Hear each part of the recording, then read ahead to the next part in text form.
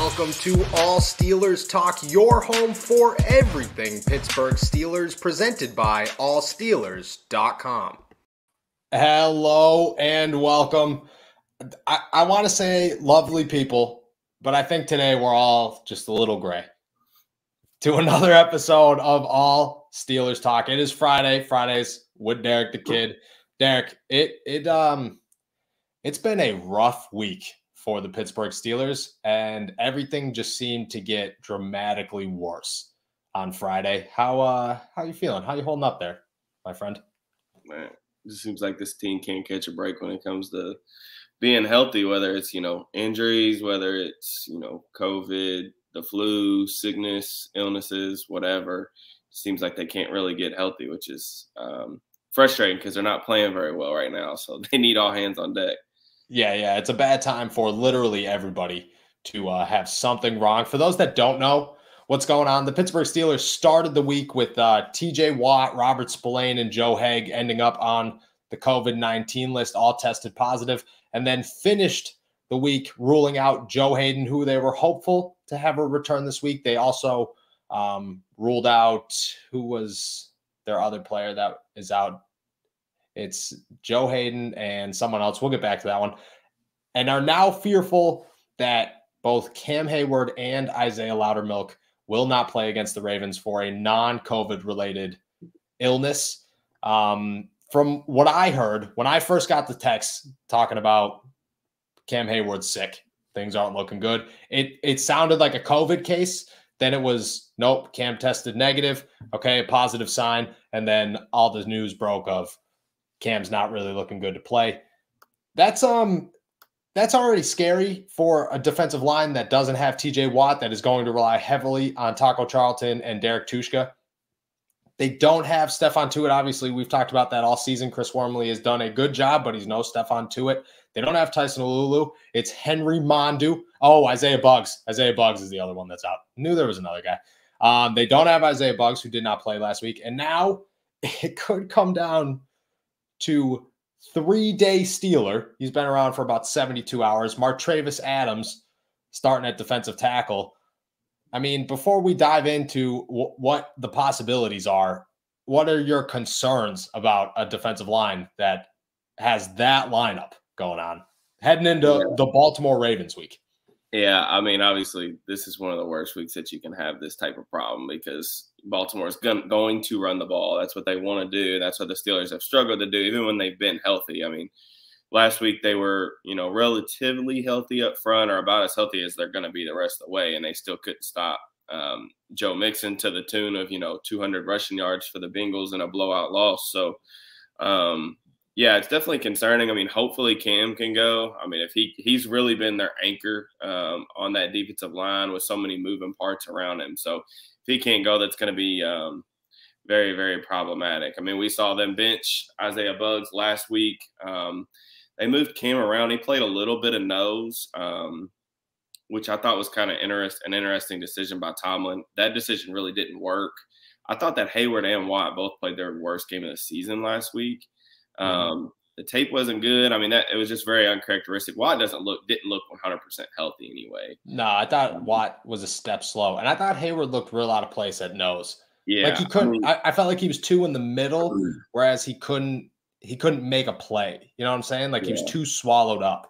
Yeah, they had. To, I mean, the, thing is, the Steelers have had. I mean, it's a personnel thing, and they've also had trouble getting lined up. Like that was one of the reasons that I think Buggs was benched because just not lining up correctly and struggling to get ready before the snap, and then oftentimes just out of the like in the wrong gap. So um, they're going to have to be much more disciplined in term, regardless of if it's Adams. You know, I do expect him to play in base. I mean, he's listed as their um, as their starter, or is it Mondeaux? Armando. It's Mondeaux as the at the nose. Adams is listed as the backup defensive end right yeah. now. But if Loudermilk and Heyward can't go, he's starting. Right, he's going to get playing time. Yeah, I mean, it seems like he could potentially at least get a helmet this week, which is you know kind of crazy for a guy that was just signed off the street. But um, who knows? I mean, they're they obviously know. I mean, what the Baltimore Ravens offense is about under Greg Roman. They want to run the football, so um, it's going to be like last week. If you don't stop it, they're just going to continue to run it down your throat. Um, so it's put up, or like Mike like Mike Tomlin said earlier this week, it's put up or shut up time. It is put up or shut up time. And it's an interesting question because it's the Baltimore Ravens. We all know if you don't stop the run against the Baltimore Ravens, you're going to lose. If Adams has to play significant snaps, what does that do to the defense? Can you look at it and say, okay, we have to trim the defense down, at least the defensive line scheme, because Adams doesn't know the playbook. He's been here three days.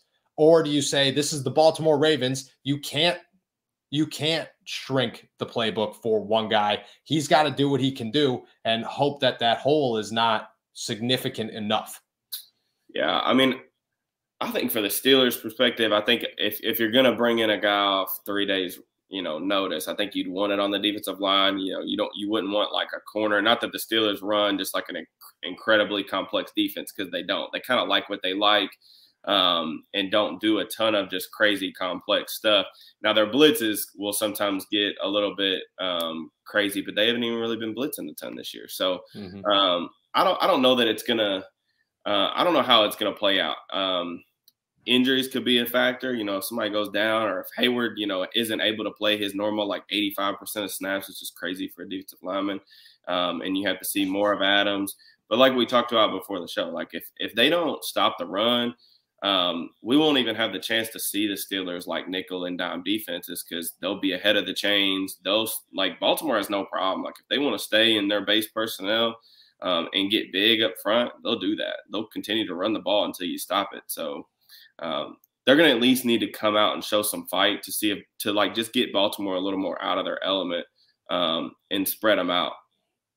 The issue we talked a little bit about this before we jumped on here. The issue with the steelers obviously on defenses they can't tackle anybody for the life of them. That's been the issue all season long. They've tried to clean it up. It's happened from time to time but nothing significant i don't think.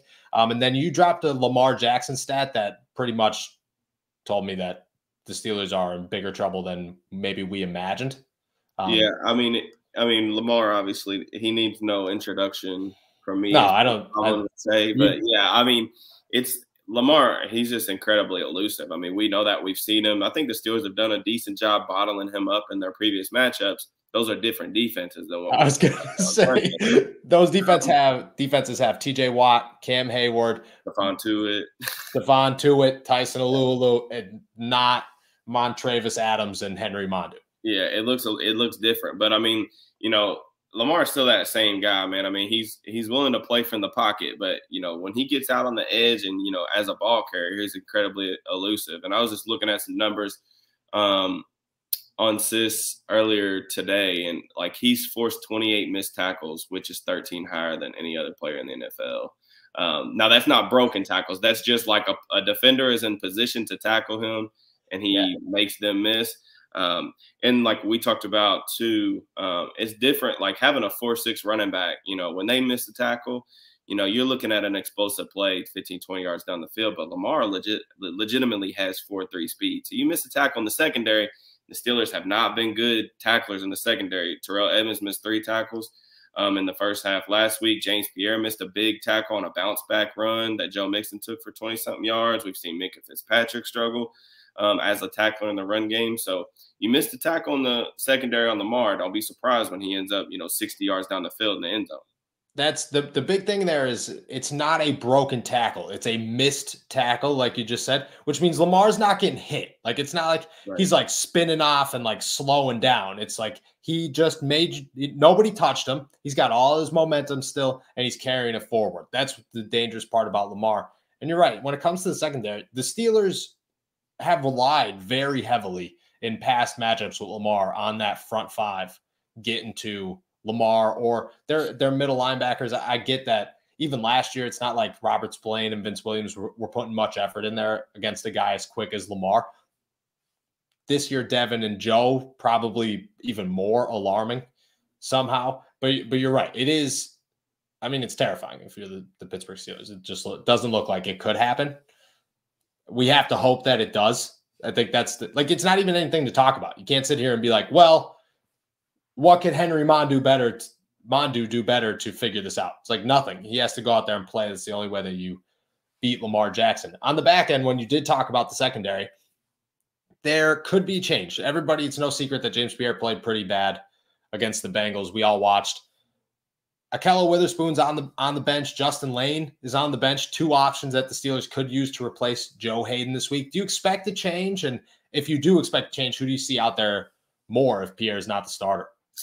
I mean, we'll, we'll just kind of have to see. Tomlin did finally talk about in the post game presser that he'd be open to, you know, making some moves just off a blowout loss, you know, against the division rival in Cincinnati. So, can I can I interrupt you real quick on that? So he said that, and all week long, I was like, I was like, okay, things are happening. I thought this was the banner week, maybe like things were happening, and all week long, I'm watching, and um, so far, I can tell you that the only change that has been made, um, at least that I'm able to report, is uh, that Henry Mondeaux is now the starting nose tackle. So um, just so everybody's yeah. aware, those big changes. I think um, we'll have to see if they if they do move off of Pierre. I mean, we mentioned how much he struggled last week. Uh, five catches, 89 yards, and a touchdown is what I kind of charted him at when I was going through the game. You know, that's that's bad numbers for a boundary corner. I mean, I know the Cincinnati receivers are extremely talented. They got one of the best rooms in the league, but um, you know, the big and the big play being the touchdown, man. Uh, just not getting chest to chest with Tee Higgins, a guy that really likes to play above the rim. I mean, you knew that they were going to take some shots. And Pierre struggled against, you know, preventing big plays. So they they took a shot at him, and he's in good position, but he loses track of the football in the air. Um, and Higgins just makes a play for the quarterback. So those type of plays are normally, you know, if a corner gets benched, it's usually because you know inconsistency and um, allowing those explosive plays down the field. Now, speaking of inconsistent, I mean, unfortunately, that's kind of been the name of uh, Ahkello Witherspoon's career. I mean, he's just a very high variance type of player. Um, we've talked about that on here, just dating back to San Francisco days. I mean, there's days where he looks like you know a borderline cornerback one, and then there's days where he looks like a practice squad guy that you can't depend on. So. I haven't seen anything. I mean, Witherspoon did get some playing time last week. I haven't seen anything that tells me like they got to make a switch. But you know, I mean, at, when you get blown out against a division rival, I mean, sometimes you know you got to make change. I don't want to say it's for the sake of change, but just to switch things up and see how it goes. I think that Justin Layne, I think they've lost all hope in him as a defensive player. I think he's a pretty pretty solid and a beneficial gunner um, and special teams player, but I think they've just lost faith in him, his ability to play corner um, at, after last season. Yeah, I, I didn't expect Justin Layne to be an option. He does play good special teams, which I think is kind of like under the radar. A lot of NFL guys can make a career out of special teams, especially secondary. I mean, Jordan Dangerfield did it for a long time. Yep. Miles Killebrew is making a name for it now. Justin Layne could be that guy. You can, I don't think that. At, you can even look at guys like uh, Darrius Heyward-Bey, who everybody thought was a bust. Oh, yeah. He really wasn't a very good receiver. And then he came to Pittsburgh and he went to Indianapolis um, played some special teams there, and then came here and really like revived his career. I mean, he ended up sticking the league, I think, almost a decade. Just and really, that wasn't off of his receiving ability; it was just off of his ability to, you know, track and cover down punts and kicks. Yeah, what did he spend? He spent five five years in Pittsburgh, just basically blocking on the outside for like screen passes and playing special teams. And yeah. it was a good career. Like Darrius Heyward-Bey was a name that a lot of people knew. So I, I, agree with that. Justin Layne could definitely be that guy. I don't know if that's in Pittsburgh, but he could be that mm-hmm. guy. Uh, Ahkello Witherspoon, we like we have talked about before. He's the definition of inconsistency. And when he first joined the team, and I reached out to San Francisco people and tried to talk to them, that's all they told me is that he is one week he'll look like a starting cornerback, the next week he'll look like he doesn't belong in the league. And I think that's to a degree what James Pierre has done this season. It's not that I don't think he's ever looked like a starting cornerback, but he's looked at times that he could fill in well for Joe Haden or Cam Sutton or whoever. Let, let me ask this Marquise Brown, they, they have those wide receivers. They're obviously banged up. The Steelers don't shadow anybody. Mm-hmm. Is that a huge? I mean, if Marquise Brown's really the only receiving name, I believe that you have to like seriously worry about in the Baltimore offense, uh, and that's like receiver, not that doesn't include Mark Andrews. Yeah. Um, is that whoever's on the other side, I mean, he usually plays that right side, correct? And like that yeah. just basically removes Cam Sutton, who is the guy that you'd want in that situation. Yeah, it's going to be interesting. I mean, the, the, Steelers just don't have they don't have a lot of speed at um, at corner. Um, that's just been a theme over the last couple years. So, you know, Brown, he's he's a speedster. He can fly and get up and down the field. He's having a pretty good season.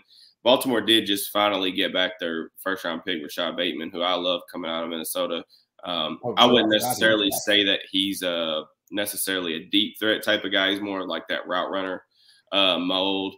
Um, but he's incredibly talented. I'm excited to see how like he plays. I, I was upset that he ended up in Baltimore, but um, yeah, I mean it, it's they're going to take their shots. I mean Lamar will throw the ball down the field.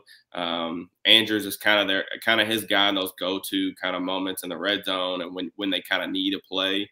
Um, but him and Hollywood have um, connected on several big plays this year. This is kind of a breakout year for him. So just given the Steelers' inability to, you know, keep the keep a lid on things in the back end, this is going to be, you know, this they're going to need Minkah to play extremely well. He came up with an interception on a deep ball last week, um, where he kind of came from center field over to make a play on the ball. Unfortunately, the Steelers turned it over right after that, but. Um, overall, I mean, it, it's going to be interesting to see how how many chances Baltimore really takes because they, like we said, they might not need to just because the Steelers can't stop the run right now. Um, yeah. And you know, the Ravens, they're going to do everything they can, I think, to um, exploit that. I, I, would assume. Yeah, I, would expect a very strong running game. Uh, I want to ask this too, though. Does it make sense in these situations where Marquise Brown's a guy that primarily plays on the right side? He's clearly the guy that you got to slow down. I get Rashod Bateman, but that's more of a slot receiver. That's still like it's Cam Sutton's job at times, but definitely not in this type of situation without Joe Haden. Does it make sense? I know they're not going to do it, but should they? Like, should it be a situation where you're looking at this and saying, okay, well, Sutton should probably move over to the right side and play Joe Haden's spot for this game? I mean, he's smart. He clearly knows the position, knows every position in that defense. Yeah. It, yeah. but they won't do it. Is that yeah, I mean, move? I think Sutton's incredibly smart. I, I, think that's kind of what drew them to him coming out of the draft years ago. Um, he's kind of, I mean, he's done everything for him. He's been their slot guy, he's been their dime backer, he's been, you know, outside corner. He yeah, he, yeah. they haven't done it a ton this year, but I mean, you've we've seen him in years past just on tape. He'll rotate back and play like the deep half or even the deep middle uh, in cover three, cover two. Um, he does a lot of different things for him. As far as like what I have him shadow Brown, um, no, not, not even shadow, but just move to the right side where you know yeah. that, that, that Brown's going to primarily play. Yeah, I mean they could do that. Um, I, I think, and this is kind of just off topic. We'll talk about this a lot in the off season, but I think this is one of those reasons why I really think the Steelers need to try to invest in a corner, um, whether it be in free agency and you go out and get a number one guy. I'm not saying you go pay a guy like J.C. Jackson, Jalen Ramsey money, even though I'd love to have him in Pittsburgh. But you know, this is why I've been banging the drum for a corner around one. Like you look at the receivers in this division, you got to have somebody like you know to shut these guys down. I mean, you're in a division now where you're you know you've got you know not just Jarvis Landry, Donovan Peoples Jones, but you know the Bengals have three incredibly talented receivers: Tee Higgins, Tyler Boyd, Ja'Marr Chase. Ja'Marr Chase can be a problem for the next decade. We knew that as soon as he was drafted. And then even Baltimore, they they took Bateman. Brown's now having kind of a breakout year, so the Steelers don't have a number one corner that you can kind of assign. Like the the Ravens kind of treat Marlon Humphrey like that. They move him wherever they need him that week. You know, if a team has you know a dominant slot receiver, they'll move Humphrey inside and have him shadow that guy. They have a dominant outside receiver, say a Ja'Marr Chase, they'll move him outside. Whatever they need, he can do. And that's kind of what like I wish the Steelers defense has because it allows you like more flexibility in these types of games where you're like, all right, who do I need to shut down? Does that does that happen? Could that be a Sutton type situation? Because that would be the guy that I'd pick, I guess, would be to move. I think Sutton works best in the move out, out, of their guys that they have available and on actually just on the roster period, I think he's their oh, best oh, yeah. guy. Um, yeah, on the roster period. But uh, imagine next season, like say they do invest, say they do get another cornerback in there, they got to get a slot guy. There's zero chance Pittsburgh Steelers go this offseason without bringing in somebody to play the slot. Yeah. Or at least be another or option just, in the slot. Or just move Cam back inside full time. Yeah, you know yeah. Like, but I, I think you know, for me, that's one of my number one wish lists for next season, um, along with offensive line. Just getting a corner. Um, it's a speed thing. Like, I want somebody that's athletic enough to run with these guys so that you can play more man coverage. Like, you look at you look at a lot of the best defenses around the league, just particularly in the last like five years. I mean, the best defensive schemes, in my opinion, are either like your primary man schemes or your man match schemes. The Steelers don't do a lot of man match no quarters or anything like that. That's never been Tomlin's mo.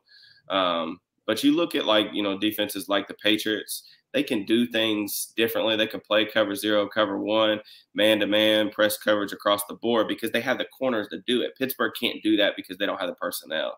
And I know like no team's perfect, and but that's just if I was building this defense back up for next year, that would be something I'd want to invest in. Like, let me go get a corner that I can feel comfortable with leaving on an island, um, a la what they were able to do with Ike Taylor back in the back in the day um, to shut down opposing teams like best player.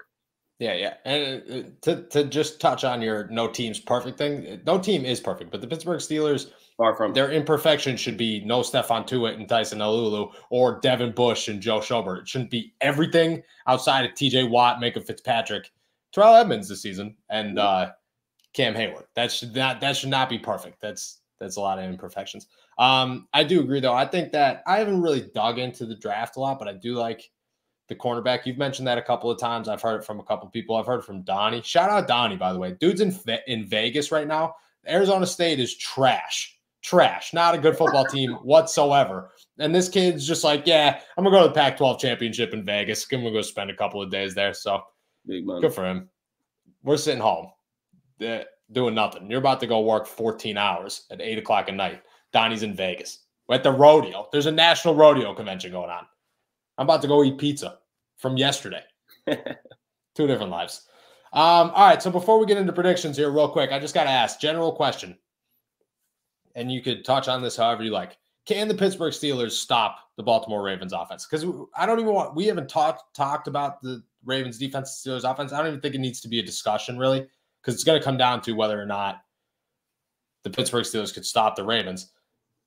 Can can they do it? Is it possible with as many guys as they have?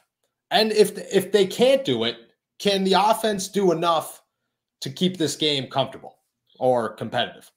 Yeah, I, I don't I don't see them stopping Baltimore. I mean, they might be able to keep it. You know, I mean, we've all kind of talked about it uh, too much, in my opinion, in the last couple weeks. It's really just coming down to a pride thing for this defense. They haven't stopped a soul. They're getting absolutely gashed.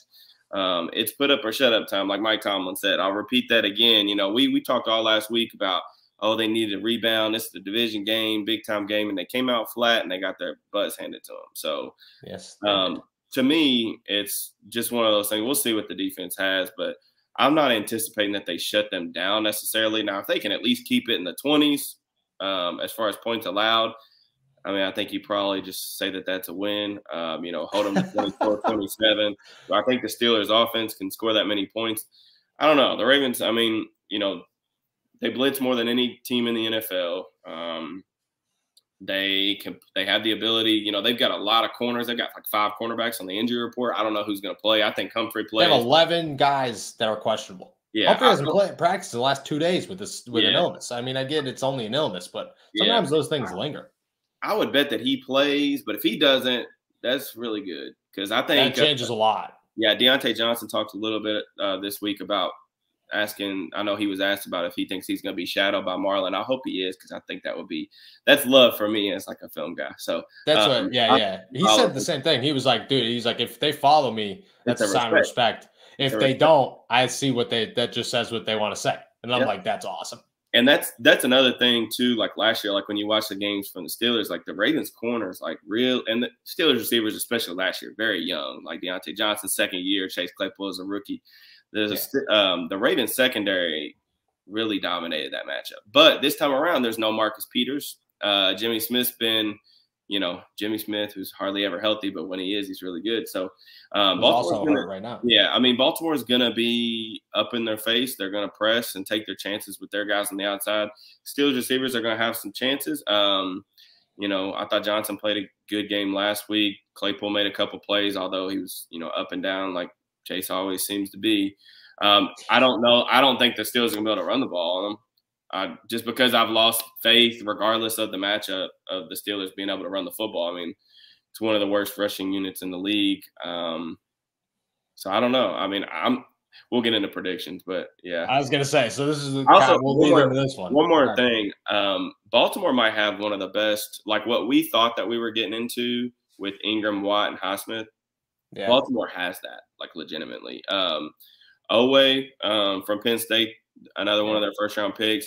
been great, uh, forcing a lot of pressure off the edge. They got Justin Houston. Houston decided to sign with Baltimore instead of Pittsburgh in the offseason, um, which forced them to kind of go after Melvin Ingram. Melvin and then Ingram. another guy that's really popped on tape for me when I've been watching is Tyus Bowser. He's kind of he they, they move him around a little bit. He plays some inside. They plays off the edge. Um, but as a pass rusher this year, like his pressure rate's like 16%, which is like right around where TJ Watts is he just hasn't been able to get home and they, they don't rush him as much. But when he does, I mean, he forced a fumble on Justin Fields a couple weeks ago. Um, he's very disruptive and they're they're fast. I mean, they're linebackers. Oh, yeah. Oweh, freak out. I was gonna say Oweh ran a what a four three, four four. Yeah. Patrick Queen, freak. So they got yeah. they got guys that like can really move um, up front. So we'll see. It's gonna be a challenge. I'm. It's gonna be a. It's gonna be a tough game. I think for like Dan Moore. Uh, Chuks is playing better, which that's a good thing. Um, yeah, I don't think that is a good thing though. I think if the Pittsburgh Steelers offensive line was going to get better, Dan Moore should be getting better. Chuks should not, so that they could just put Zach Banner in there because you're not going to replace Dan Moore. At this point, you're just like, well, Dan Moore, like we're not going to pull him. Like he, you want him to play better, or you want him to get those reps because next year he's the full time starter again. Chuks is gone. Chuks is not here next season. Yeah. So uh, one thing, one thing too, um, Villanueva, of course, pre- his our last left tackle. Uh, both him and Dan Moore have nearly identical uh, numbers as far as like in the pass game, uh, pass blocking protection yeah. issues. So um, that could be good news for Alex Highsmith, who will be lining up over there pretty much the entire game. So I would that that is one thing. I wouldn't be surprised if Alex had a really good game on Sunday. That was kind of one of my bold predictions was that he gets like two sacks. Two sacks. If if Alex Highsmith gets two sacks against Al Villanueva, at least like at least we can look at that. Like Steelers Twitter will have enough of a good time with that. That like if they do lose, oh, yeah. if there's a bad loss, like you know, small victories. Silver lining. Yeah, yeah, yeah. Silver lining. Little little victories, little wins here and there. All right, I'm kind of nervous to ask you this. So we're getting into predictions here. The Pittsburgh Steelers, four and a half point dogs at home against the Baltimore Ravens. Over under is 44. I personally think that the four and a half point spread is a safe bet right now because I think that if Cam Heyward gets ruled out tomorrow afternoon or Saturday afternoon at some point, that's definitely going to go up. Like that, that'll be a six and a half point spread at that point. Um, but four and a half, not terrible. Very winnable game. That's a that's a game where you know you could see Vegas. They don't know what's going to happen. They're hoping that you take it just so that the Steelers lose by a field goal. That's what they're looking for. Four and a half point spread, 44 over under. What are you feeling here? I hate to say this because I really do, and it, it, hurts me. It really does hurt me. I, well, thinking, if there's good news here, you did. We all did actually. We, we all missed last week. This, that's what I'm saying. So maybe you know, maybe we're just really bad at this. I'm taking Baltimore. Unfortunately, I, I hate saying that, and it pains me because this could be, you know, Ben's last game against Baltimore, probably at home. Um, yeah. Still got the road matchup and the finale if he's healthy by then. Um, but yeah, I just just the matchups. I, I know Baltimore um, is has squeaked by a ton of games this year. They're not blowing anybody out, which I think is another reason why that that spread is so thin. Um, but the Steelers, man, they're not really key. They're not stopping anybody, and like I, the the thing that we thought this year would come down to is like that we thought that they were going to have like a really good to great defense, and this is this is a really bad defense right now. I mean, you look at almost every advanced metric. I mean, the Steelers are in the bottom six or seven in almost everything. I mean, if the surprising, maybe the most surprising thing ever after the first month of the season, the Steelers' offense is actually ranked higher in points for and points uh, in yards for than the Steelers defense is right now, which tells you how bad the Steelers defense has been recently. That's um, so. Um, yeah, I, I got to go with Baltimore with the points. Um, Forty-four point over under. I don't even know about that. It seems that's like tough, right? Because like Baltimore put up thirty points. Yeah, it seems like that's been the uh, That's always it, dude. Pittsburgh is like 42 and a half to 45. Yeah. Um, at home. That doesn't mean anything. I'll say I'll say over on the points. I, I, don't know why. I'll I'll say over on the points. I like the 44 over. All right, what's your score prediction here? We'll just add to the fire here. Mm, I'll say 27 21 Pittsburgh or Baltimore. Baltimore. That's a close game, actually. Yeah. 27 21 is a moral victory. You're not feeling good about that, but it's better than, I mean, when you look at everything that's going wrong right now.